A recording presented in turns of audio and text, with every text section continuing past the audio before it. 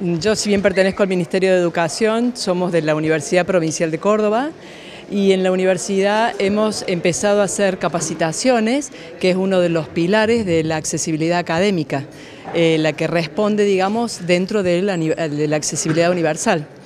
Eh, como, hace, como bien la jornada lo está especificando, hoy está la accesibilidad comunicacional y académica y después viene la accesibilidad física.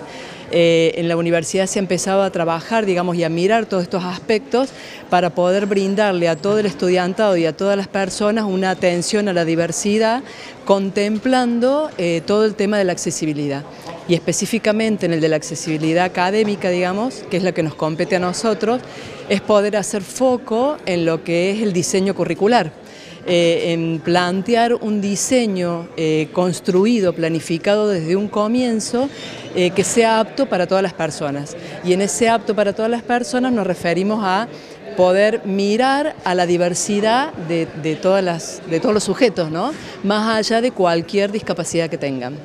¿Y cómo se inicia o cómo se realiza el trabajo de adecuación de estos currículos a la diversidad atendiendo a la necesidad de cada persona? Eh, bueno, actualmente digamos es un poco, eh, estamos teorizando, como recién decían recién ahí, es como eh, todo esto está enmarcado en el modelo social, el cual cuesta mucho hoy, digamos, poder implementarlo. Entonces, lo que se hace actualmente sigue siendo integraciones, o sea, acompañando a cada sujeto en particular. Pero bueno, las capacitaciones a los docentes y a toda la comunidad educativa tiende a mirar hacia lo que es la, la accesibilidad, o sea, a poder hacer accesible todo lo que es el currículum.